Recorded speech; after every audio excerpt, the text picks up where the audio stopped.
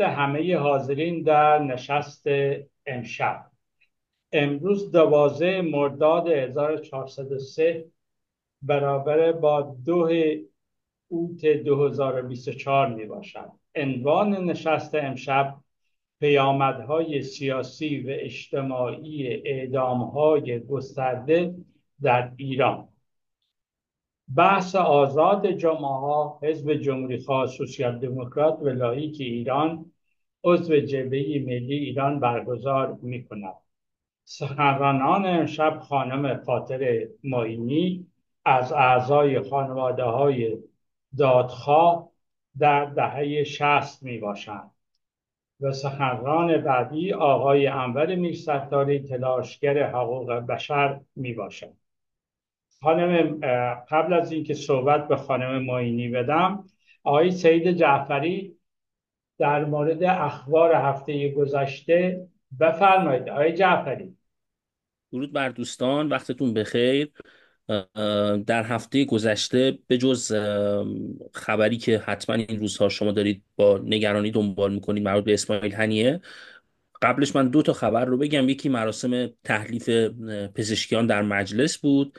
که از سران این گروه های فلسطینی هم دعوت کرده بودن و با شعار مرگ بر امریکا و مرگ بر اسرائیل و اینا در واقع رسما پزشکیان کارش رو شروع کرد و خبر دومی که به نظر من مهم هستش شروین حاجی پور که آهنگ برایه رو خونده بود و در تمام یک سال خورده گذشته در جنبش زن زندگی آزادی این آهنگ در جاهای مختلف و حتی ستاد انتخاباتی خود پزشکیان پخش شده بود از در یک ویدیویی از تایید حکم زندانش خبر داد و گفتش که با اینکه اجازه خروجش رو صادر کردن اما از کشور خارج نمیشه و گفتش که یک یک تیکه از این خاک رو به ما بدید که ما بتونیم اینجا زندگیمون رو بکنیم.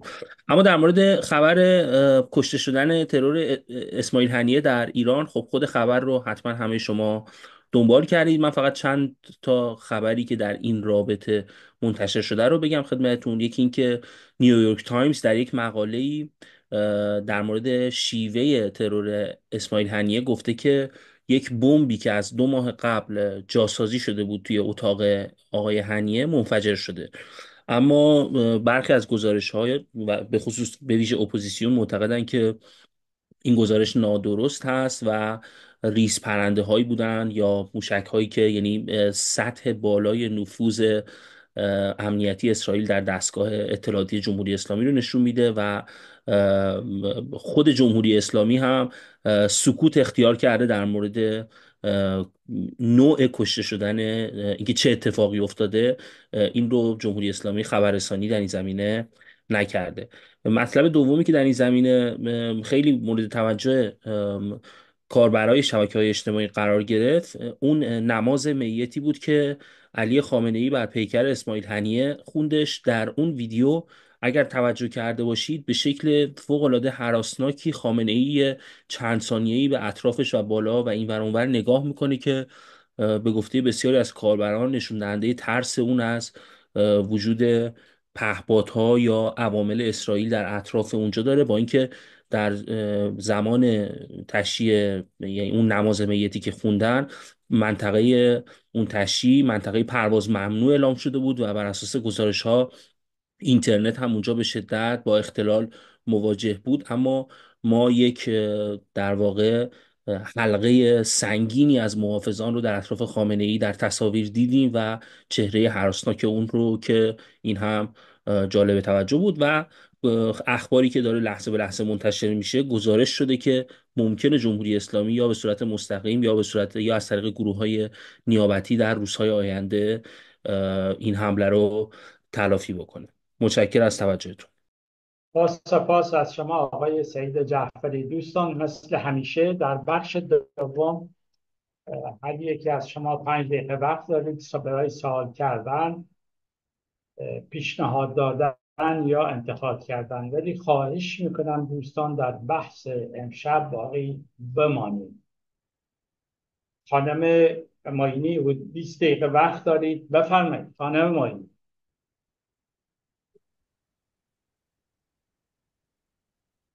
خانم ماینی ببخشید من بست خواهش بکنم صدا و تصویر داریم بفرمایید. بله. من سلام دارم خدمت شما و همه عزیزانی که در اتاق تشریف دارن و ممنونم از فرصتی که به من دادین. من عمدتا در زمینه دادخواهی کار می‌کنم ولی بحث زندان و زندان در واقع زندانبان ها هم خودش یک مقوله که می‌تونه در چارچوب دادخواهی هم باشه. ما همجور که اطلاع داریم دست کم 55 زندانی ماه جولای فقط حکمشون اجرا شده. در از شنبه گذشته تا امروز دست کم 22 نفر در زندانهای مختلف ایران اعدام شدند که 5 نفرشون زن بودن که هویت چهار نفرشون هم هنوز مشخص نیست. یعنی احتمالا انقدر با عجله اعدام شدن اینا که حتی یا نخواستن هویت اینا رو افشا کنن یا هنوز اصلا هویتشون مشخص نبوده. در کل 249 نفر در شش ماه اول سال بنا به گزارش سازمان حقوق بشر در, در ایران اعدام شدن که بیش از 35 نفر از اونها بلوچ بودن. این اعدام ها به اعتقاد من بیانگر اینه که رژیم به شدت از اعتراض ها و نارضایتی های جامعه حراسناکه. و داره به شیوه همیشگی خودش سرکوب رو برای رسیدن به کنترل کامل بر جامعه بیشتر و بیشتر می‌کنه. ایجاد روب و وحشت از طریق اجرای حکم اعدام یک شیوه همیشگی رژیم بوده و هست. هرگاه از جانب مردم و اعتراضات مردمی احساس خطر می‌کنه دستگیری و اعداماشو گسترش میده. ولی هرچی این سرکوب ها بیشتر میشه مقاومت و صدای اعتراض مردم هم بلندتر و تنین اون پررنگتر میشه. به خصوص در میان زنان که به اعتقاد من پیشگامان اعتراضات سیاسی، مدنی، محیط زیستی، کارگری، اعتراضات معلمان و هنری هستند. ما ببینیم که صدای زنان زندانی حتی از پشت دیوارهای اوین رساتر از گذشته به گوش ما می‌رسه. بی پروا و شجاع از سرکوب آزادی و دفاع از دیگر مبارزین و حقوق انسانی خودشون میگن. با صدای بلند علیه استبداد در زنج در, در در واقع با صدای بلند علیه استبداد در زنجیر استبداد فریاد می‌زنند این خیلی مهمه. شما در زندان باشی ولی آنقدر شجاعت داشته باشی که بتونی صدات رو حتی از مردمی که در بیرون از ایران هستن رساتر کنی. اعتراضت رو با صدای بلندتری بیان کنی. اعتصاب غذا خودش یکی از حربه هایی بوده که همواره در زندان زندانیان سیاسی برای رسوندن صدای خودشون به خارج از زندان از اون استفاده می‌کردن. اونها از هفته پیش شنبه پیش که به محوطی زندان اومدن زنان زندانی و موندن تا روز بعد به در واقع سهشنبه های اعتراضی علیه اعدام یعنی پیوستن به طور مشخص اعلام کردن با پیام هایی که دادن. و این خودش نور امیدی بود. من فکر می‌کنم نور امیدی بود بر دل همه مبارزین که از اعماق تاریخی و زندان به دنیای بیرون راه خودشو پیدا کرد. ما هر روزه شاهد دستگیری و ابلاغ حکمای سنگین و اعدام عمدتا به دو طیف هستیم. تو به نظر من به دو طیف مشخص هستیم. طیفی از مبارزین و معترضینی که در جنبش بزرگ و با شکوه زن زندگی آزادی رژیم فرصت نداشت که به اون بپردازه. و اونها رو همون موقع حکم بده و حکم رو اجرا کنه که بیشتر زنان و فعالان مدنی و محیط زیستی فعالان کارگری و معلمان بودن. که همچنان خواستای خودشون رو دارن فریاد می‌زنن. ما روزانه تصاویر و عکس ها و نوشته های این عزیزان رو می‌بینیم. کسانی مثل سپیده رشنو فعال مدنی مثل پخشان عزیزی که الان بدون هیچ دلیلی به عنوان فقط این فعالیت مدنیش اون رو دستگیر کردن و حکم اعدام بهش دادن. شریف محمدی فعال کارگری. فقط به خاطر اینکه صدای کارگران ایران بود به اون حکم اعدام دادن. سارا جهانی پزشکساز داروساز و فعال حقوق زنان و حقوق سلامت که اون رو هم دستگیر کردن. هنرمندان زنی که از جنبش زن زندگی آزادی آگاهانه و در رسانه های اجتماعی دفاع کردند مثل خانم ترانی علی دوستی فاطمه معتمد آریا و کتایون ریاهی و صدها زن و مردی که مبارزه مدنی خودشون رو در شکلها و شیوه های زیبا و خلاقانه به نظر من طرح می‌کنن. که همه این حملات به فعالین نشون میده که زنانگی این جنبش و طرح خواسته های نقص شده زنان از سوی جمهوری اسلامی مورد اتهام و جرم بزرگ در ایرانه. یعنی هر آن کسی که بیاد صدای آزادی خواهی سر بده و در اون صدا بخشی از خواسته های زنان رو مطرح کنه به شکل ویژه تری با اون برخورد می‌کنن. و اینکه زنان آزادی خواه تن به اجرای این احکام و دستورات رژیم نمیدن. رو سزاوار بهای سنگینتری می‌دانند. حبس ضرب و شتم در خیابان به دلیل بیهجابی و هزاران حکم کوچک و بزرگی که به فعالین زنان فعالین مدنی فعالین محیط زیستی میدن. همه اینا نشانگر اینه که به اعتقاد من رژیم به شدت ترسیده. علا رقم اینکه خودش رو قوی می‌دونه علا رقم اینکه فکر می‌کنه الان حالا به هر حال بعد از انتخابات پزشکیان که به نوعی هرچند سرفکنده بود هرچند که نتونست اون میزان رأی رو که به قول خودشون نشان دهنده اعتماد مردم رو به دست بیاره ولی با رسوایی هنوز هم فکر می‌کنه که می‌تونه در این جنبش رو سرکوب کنه. من فکر می‌کنم در حالی که این زنان شجاع مردان و مردان آزادی خواه و مبارزی که در کنار مبارزه به خصوص مردان مبارزه که ما الان داریم در کنار مبارزه که با این رژیم دارن دست یاری خودشون رو از دست زنان سرزمینشون رها نکردن. به اعتقاد من این تحسین و احترام ویژه داره. چرا که در تاریخ جنبش های اعتراضی مردم ایران به نظر من جای ویژه رو به خودش اختصاص داده. در جنبش زن زندگی آزادی ما شاهد این بودیم که مردان زیادی پسران جوانی که دست در دست دختران برای خواسته های اونا در کنار خواسته های آزادی خودشون به خیابان می اومدن و تنین در واقع صداشون رو آمیخته می‌کردن با صدای دختران جوانی که در کنارشون بودن. این به نظر من بسیار ارزشمنده. و همچنان در زندان هم می‌بینیم که اعتصاب غذا می‌کنن در کنار هم هستند. صدای زنان زندانی هستند. و اینها رو همه بازتابی از در واقع این جریان خروشانی که سر ایستادن نداره رو داره. این نشان دهنده همینه. بخش دیگه ای که مورد خشم رژیم هست در واقع اون بخش از زندانیایی که نام و جایگاه ویژه در زندان دارن. و اینها رو رژیم نمی‌دونه در واقع با اینا باید چیکار بکنه. نمی‌تونه بهشون حکم ثابتی بده. نمی‌تونه اینا رو آزاد کنه. مثل زینب جلالیان زندانی سیاسی کردی که محکوم به حبس ابده و 17 همین سال حبسش رو در زندان داره در زندان مرکزی یزد میگذرونه. توماج ساحلی صالحیه. یاسین سامان یاسینه. اینا جرمشون صدای مردم بودن بوده.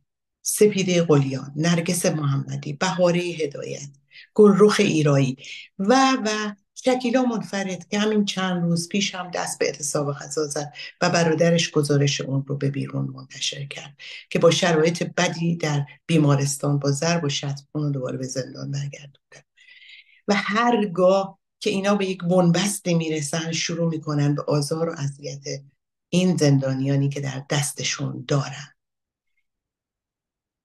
در واقع حتی همین حرکاتی که ما می‌بینیم مثلا ملحق شدن هشت زن زندانی از زندان لاکان رشت به کمپین اعتصاب غذا در سهشنبه های علیه اعدام خودش نشانگر اینه که زنان و مردان شجاع ما در زندان بیشتر دارن تلاش می‌کنن از کسانی که حتی در فضای بیرون هستن و حتی در خارج کشور هستن.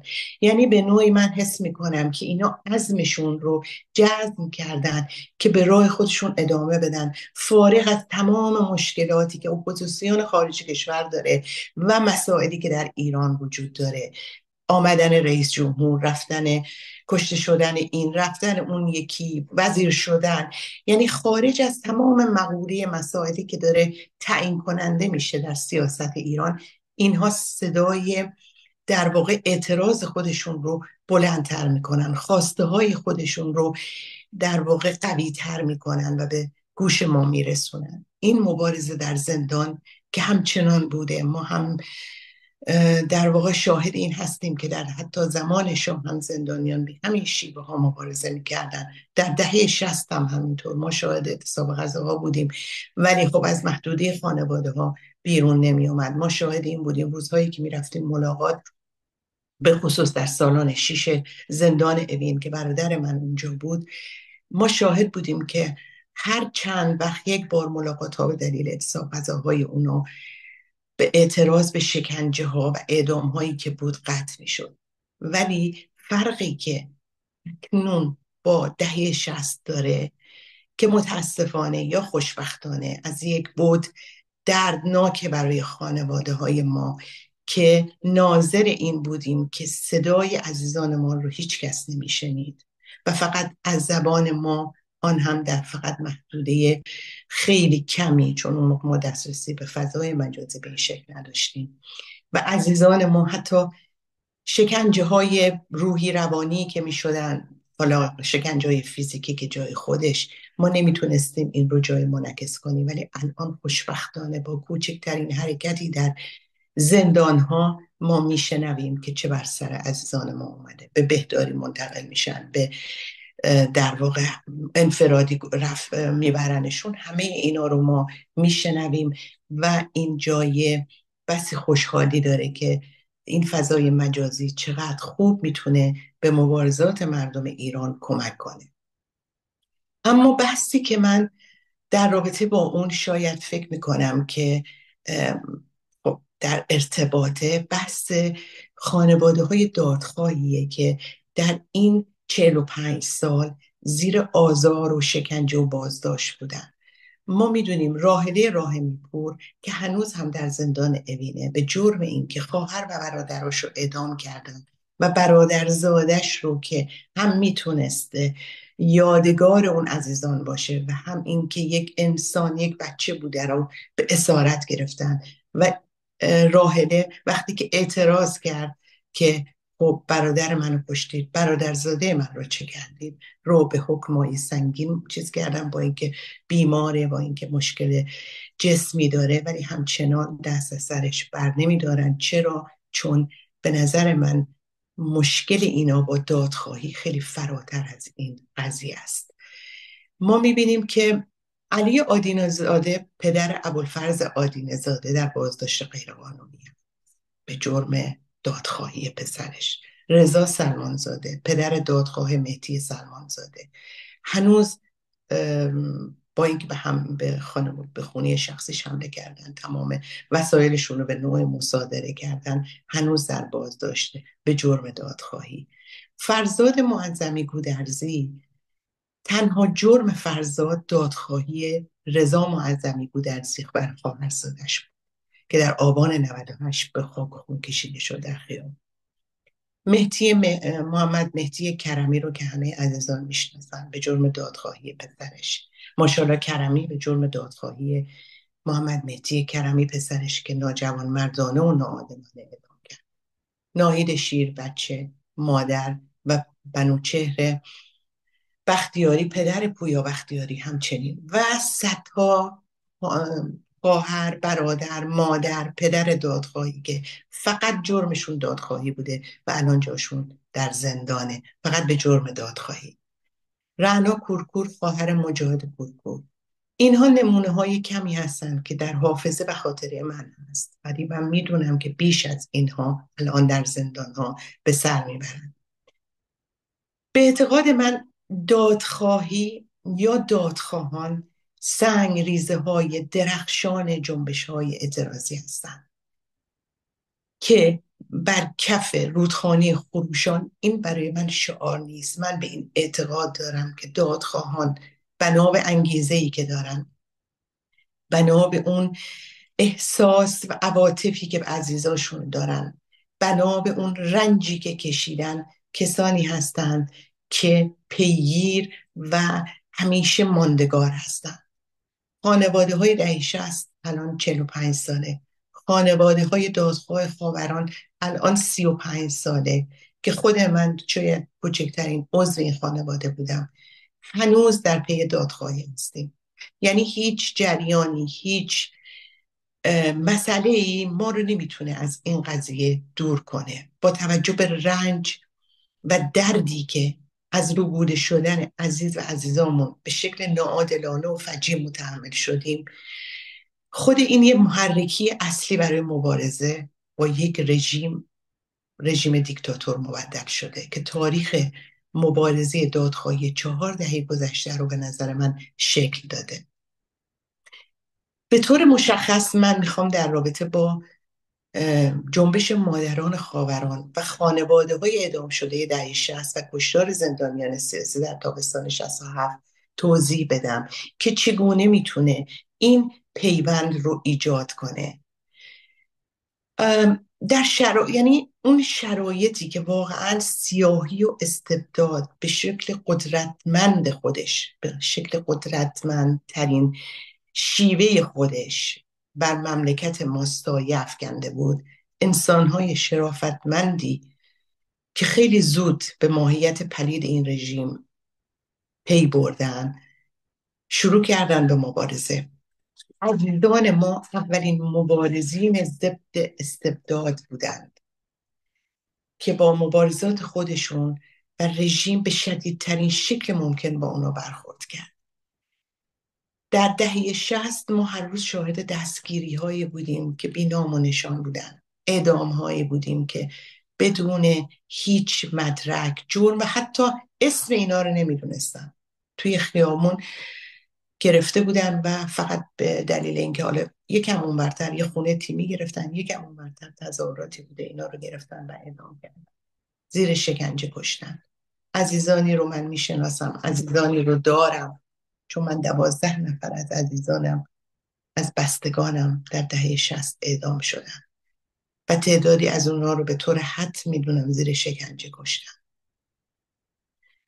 در اون زمان در سکوت خبری دهه شست که روزانه دستگیری شکنجه و بدون هیچ دادگاهی می‌شد در بدترین شرایط ممکن خانواده ها هم به همون میزان تهدید می شدن تحقیر می شدن آزار می دادن.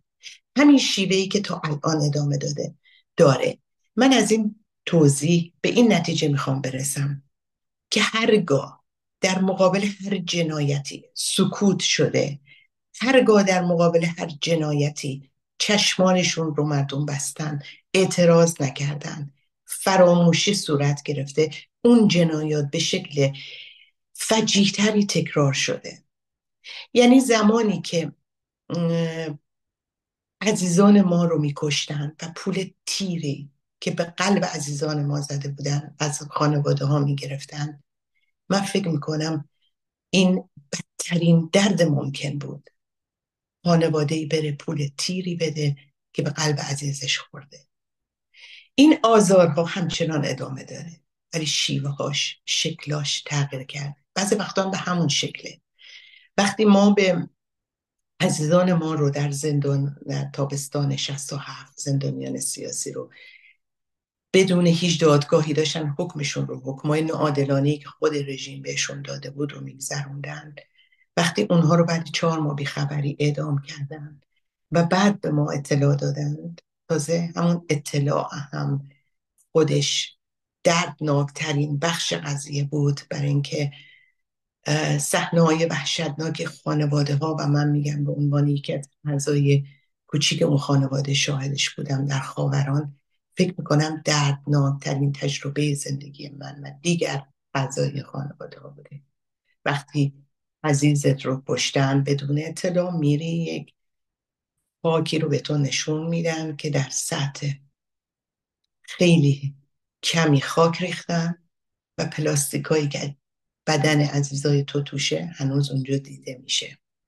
و تو شاهد این هستی که دیوارهای خرابه خاوران رو باید شب تا صبح در کابوس خودت ببینی که چجوری ممکنه که عزیزای تو و خاک ببری اونجا بپاشی که تن عزیزان تو رو حیوانای وحشی بیش از اون ندارن.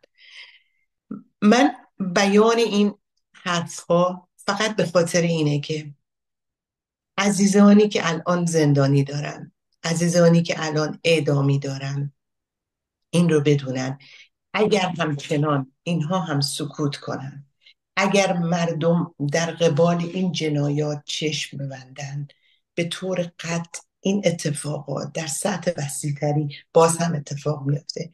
اگر مردم به جنایاتی که در دهه 60 اتفاق افتاده بود در کشدار تابستان 67 اتفاق افتاده بود بله بفرمایید. خانم ماینی پنج دقیقه وقت دارید. بفرمایید. بله من دیگه تمام می‌کنم. اگه اون موقع نبود اعتراض می‌کردن دیگه 96 به وجود نمی اومد سال 88 در قبال اعتراضات مردم کشدار نمی‌شد. آبان 98 حمام خون را نمینداخت رژیم. 1401 هزاران قتل و قتل های زنجیری هزاران هزار قتل. من میگم که ما الان از این درس بگیریم و بدونیم که باید اعتراض کرد باید به خانواده های دادخواه در امر دادخواهی کمک کرد.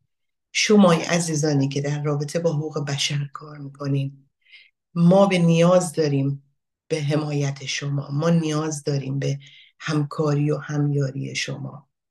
تمام اونهایی که الان زندانی دارن نیاز دارن که عزیزانی که در خارج کشور هستن بیش از حد تلاش کنن. ما به دنبال در واقع خونخواهی نیستیم. ما تفاوتمون در واقع با بقیه اینه که ما به خواسته, خواسته اصلی ما خونخواهی نیست. ما اجرای عدالت رو می‌خوایم یعنی اجرای عدالت زمانی که تحقق خواهد پذیرفت که تمامی این حالا ممکنه که تمامی نه ولی بخش اعظم این جنایتکاران در دادگاه عادلانه بشینن و محاکمه بشن و بیش از هر چیزی ما به حقیقت برسیم. الان این جنایاتی که در زندان ها اتفاق میفته داستان ها ازش خواهد یعنی نوشته خواهد شد در آینده. ما خیلی چیزا رو حتی الان با اینکه زندانیان می‌تونن با خانوادهاشون حرف بزنن خیلی از حقایق رو نمی‌دونیم. من امیدوارم روزی برسه که تمامی انسانهای آزاده در کنار همدیگه به خصوص در کنار خانواده های دادخواه که من فکر می‌کنم عمده ترین نیروی این جنبش اعتراضی هستن قرار بگیرن و بتونن در واقع در اجرای عدالت در ایران کاری بکنن. آزادی و دموکراسی بدون اجرای عدالت به دست نخواهد آمد. ممنونم از وقتی که به من داد با سپاس از شما خانم ماینی در قسمت دوم برمیگردیم به شما در مورد سوالات. آقای میر ستاری بفرمایید آقای میر ستاری با درودی دوباره به همه دوستان گرامی که در اتاق تشریف دارم و به آنانی که بعدا صدای ما را خواهند شنید. من اجازه می خواهم در شروع سخنانم از تلاش های بزرگ دکتر عبدالکریم لاهیجی یاد اینجا یا خاطر نشان سازم و از ایشان به نوعی سپاسگزاری کنم که سالهای سال از مسئله حقوق بشر در ایران دفاع کردند تلاش کردند در تمام عرصه های بین المللی و در بین ایرانیان. و همچنین از جناب آقای رضا موینی برادر خانم خاطره موینی که مسئول خبرنگاران بدون مرز ایران بودند و به خبرنگارای زیاد و پناهندگان زیادی کمک کردن و در واقعه سال 67 هم خیلی تلاش کردن که مردم ایران را از این جنایت رژیم آگاه سازن. من می‌خواستم بگم که دوستان گرامی معمولا سخنرانان و سخنوران ورزیده مثل خاطر خانم خاطره معینی مانند افرادی میمونن که شما را در یه قایقی نشوندن و در سطح آبی که اصلا موج نداره آرام آرام پارو می‌زنن و شما را با خود همراه می‌برن.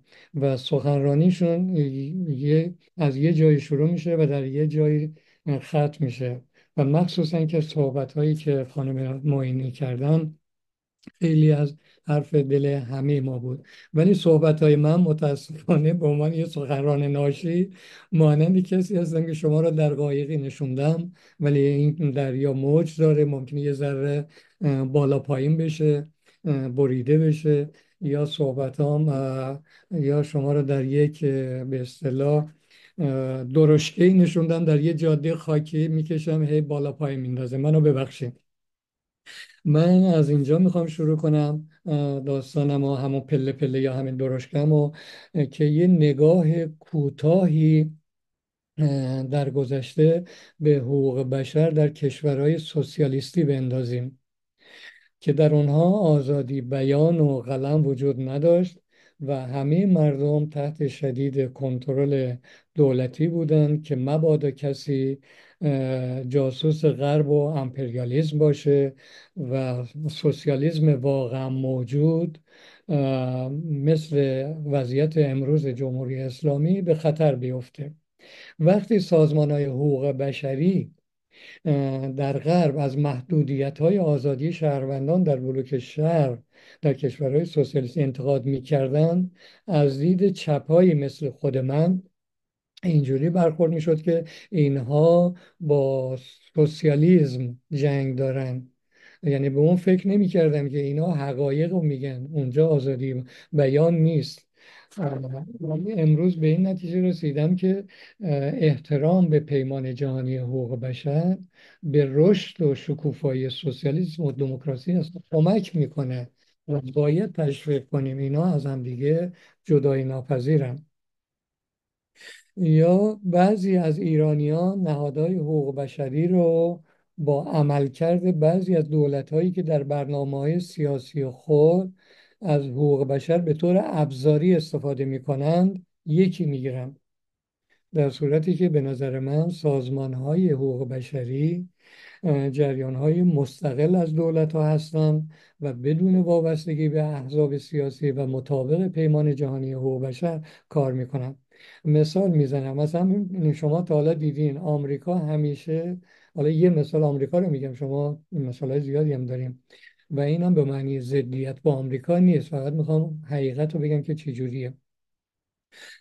آمریکا از اسرائیل در هر زمینه هر کاری اسرائیل بکنه حقوق بشر و انسان ها رو بکشه سی هزار نفر چهل هزار نفر هم کشته بشه بازم در سازمان ملل در آن چارچوب حقوق بشر از اسرائیل حمایت می‌کنه. یا کشورهایی از اون مثل کوبا سودان پاکستان خیلی کشورهای دیگه که میان از ایران نفت مجانی و ارزون می‌برن یا خودشون هم مثل ایرانن. همیشه دیدین که در مسائل به اصطلاح حقوق بشر در ایران مسائل زنان اینا به نفع جمهوری اسلامی رأی میدن.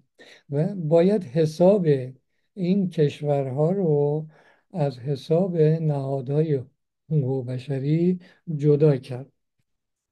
بعد می‌رسیم همین بازم درشکه است که باز به یه جای دیگه میفتیم به یه چاله دیگه. و اون اینه که رژیم از سال 57 تا به امروز داره اعدام می‌کنه. اما متاسفانه تا زمانی که از اعضا یا نزدیکان فکری احزاب اعدام نشن چیزی نمیگن. زیاد سخت نمی‌گیرن میگن از ما نبوده. یا حتما یه گناهی داشته یه کاری کرده بوده کشته شده. گویا دگراندیشان ما انسان نیستن. مثال کشته شدن همون جنرال ها و سران جمهوری رژیم شاهنشاهی مثل هویدا در اول انقلاب. بعدا کشته شدن انسان مثل سعید سلطانپورها احسن ناهید و دوستانش در کردستان یا رهبران خلق ترکمن توماج و مختوم و جرجانی و واحدی. درست نزدیک چهل سال از اینا گذشته ولی ما هرگز اینا رو فراموش نخواهیم کرد. یا کشته شدن مجاهدین و گروه های سیاسی در دهه شست در زندان ها اون تابستان شست همه اینها در اون چارچوب پیمان جهانی حقوق بشر هم ما با هر اندیشه و هر افکار و هر گرایش حزبی داشته باشیم باید از همه اینها دفاع کنیم. متاسفانه در صحبت های خاطر جان اسم خیلی را گفت. البته هزاران نفر هستن اسم همه رو نمیشه برد. متاسفانه از این نظر که مثلا من دوست داشتم اسم خانم فاطمه سپهری را بگم. چون خانم فاطمه سپهری هم چادری و نمی‌دونم روسری و هجاب دارن هم هم سلطنت طلبا میگن که این از ماست. و وقتی ما اسم اینا فراموش می‌کنیم فکر می‌کنم ما حقوق بشر و دیدگاه خودمون هم داریم. مثلا چه میگن؟ جدا می‌کنیم فقط از کسانی که هم فکر ما هستن دفاع می‌کنیم. و در صورتی که اینجوری نیستش. خودی و ناخودی نداریم.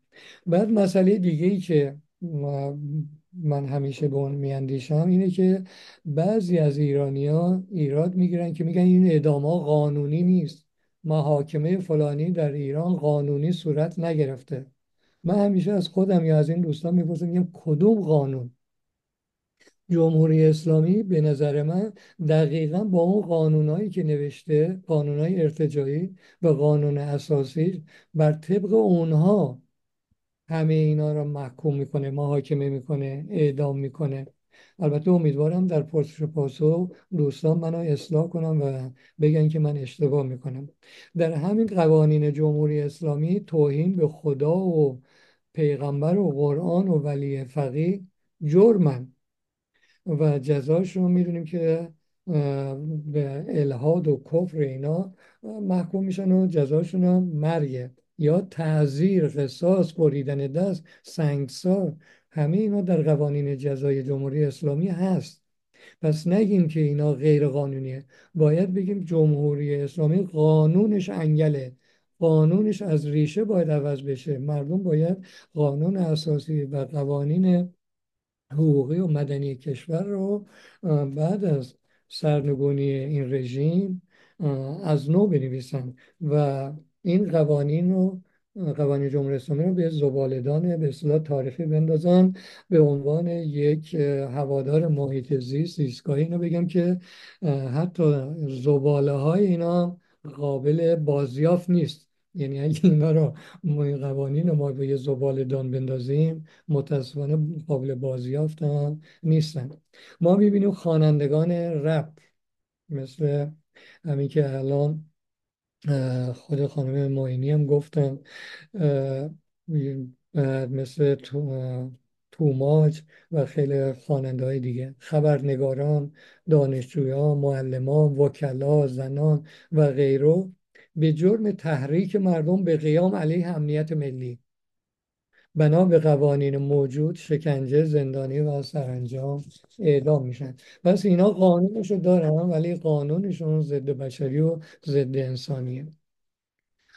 بعد اشاره می‌خوام بکنم به جوانان کرد بلوچ عرب و جاهای دیگر کشور ما اینها مادرزادی جنگجو و طرفدار حمل اسلحه و یا طرفدار کشتن سپاه و سرباز و بسیجی نیستند. اما رژیم با ظلم و ستمی که روا داره کار را به جایی میرسونه که بعضی از این جوانان به قول زنده یاد سمد بهرنگی آرزو می‌کنن که میگن ای کاش مسلسل پشت ویترین مال اونها بود. این جوانان به قیمت جان خود اسیام می‌کنن و بعد رژیم هم می‌بینیم که همه اینها رو می‌کشه. جمهوری اسلامی با گنجاندن حکم اعدام در قوانین غذایی و با سیاست های ضد مردمی خود در رأس همه اونها با قانون و وجود ولی فقی جامعه را به خشونت مبارزه و مقاومت میکشونه. نتیجه اون میشه که صدای آزادی خواهی هزاران مخالف به ویژه جوانان در گلویشون خفه میشه. سران رژیم با نقض حقوق بشر و با اعدام و ایجاد ترس و وحشت در جامعه برای خودشون زمان می‌خرن و فکر می‌کنن که سرکوب بهترین شیوه برای ادامه حکومت هست. هواداران جمهوری اسلامی با همین نقضهای حقوق بشری و تولید مشکلات اقتصادی، سیاسی، اجتماعی و زیستگاهی در این مدت 44 سال در این مدت 44 سال از 99.5 درصد که طرفدار داشتن مقدار تعدادشون به زیر 10 درصد رسیده. امروزه ما می‌بینیم که رژیم به زور سرنیزه و با کشتار بر ایران فرمان روایی می‌کنه. اما برگردیم به پیامدهای سیاسی و اجتماعی اعدامهای گسترده در ایران. به نظر من بدیهی که نخستین و مهمترین پیامد سیاست آدمکشی رژیم از دست دادن هزاران جوان عاشق زندگی آزادی و ایران هست. که بیشترین آنها تحصیل کرده ها بودند. اعدام شدگان از سرمایه های ملی مادی سرمایه های ملی مادی معنوی علمی و نیروی کاری و انرژی کشور به حساب می اومدن و موقع بارآوری و بازدهی آنان بود. جمهوری اسلامی این نیروها و این گلهای ما را به اصطلاح از شاخه میچینه خانواده ها فامیل ها دوستان همکاران همکلاسی ها همشهریان و کل آزادی خواهان با از دست دادن هر یک از این انسان ها از رژیم کنده می شوند و نسبت به آن نفرت پیدا می کنند و چشم و گوش خفته ها هم باز میشه. البته دیدیم و می‌بینیم که جای اعدامیان هیچگاه خالی نمیماند و مشعل آزادی ایران را جوانان پر انرژی تازه از راه رسیدی در دست می‌گیرند و با افتادن یکی صدها نفر به پا میخیزند. مبارزات مردم پس از سرکوب دهه شست در سال 88 با جنبش دانشجویی و امید به اصلاح طلبی سر باز کرد. اما سرکوب شد. در دیماه 96 دوباره این صحنه تکرار شد باز سرکوب شد. اما جنبش نخوابید.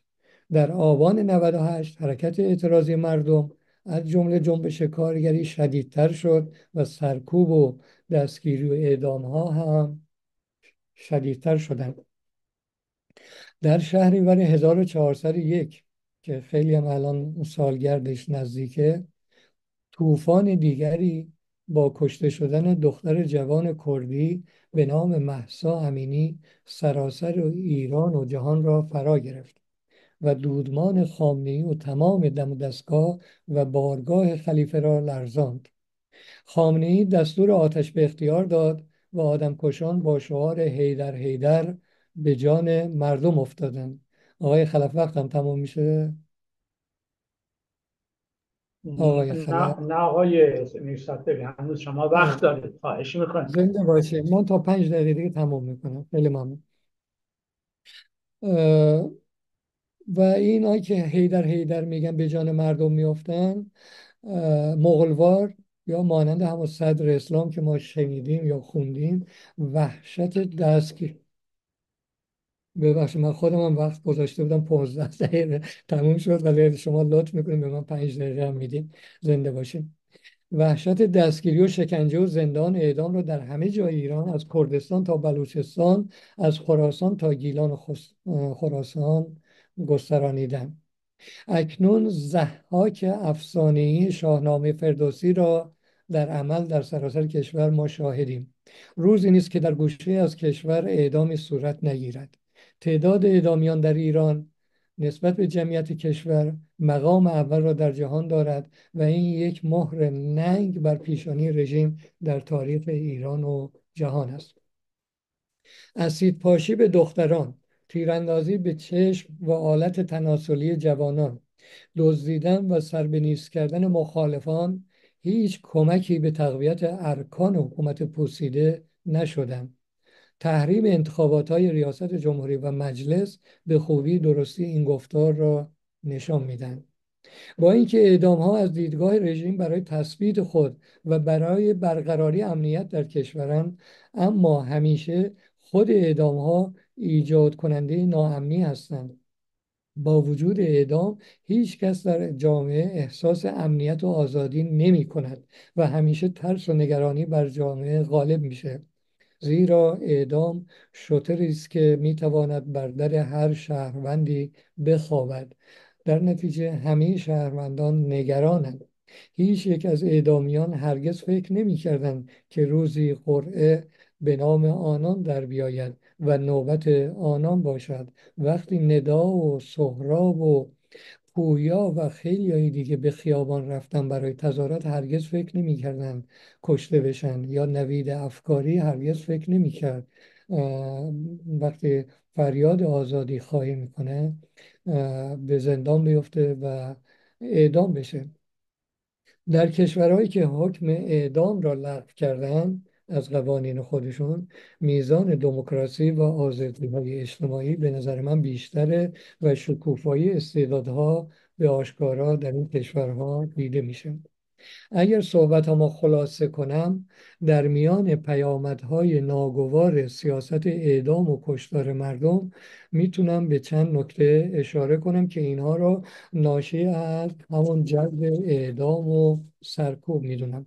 یکی از بین رفتن آزادی های فردی و اجتماعی مانند آزادی بیان قلم تشکل های آزادی تشکل های مستقل احزاب سندیکاها انجمنهای مدنی و فرار مغزا و نخبه هاست دومی نابودی پژوهش های علمی و اکتشافات و اختراعات زیر نام جاسوسی و براندازی و خلاف شهر یعنی این استعدادها را هم جمهوری اسلامی به نوعی می‌کشه. اگه خود انسان را نکشه استعداداش رو می‌کشه.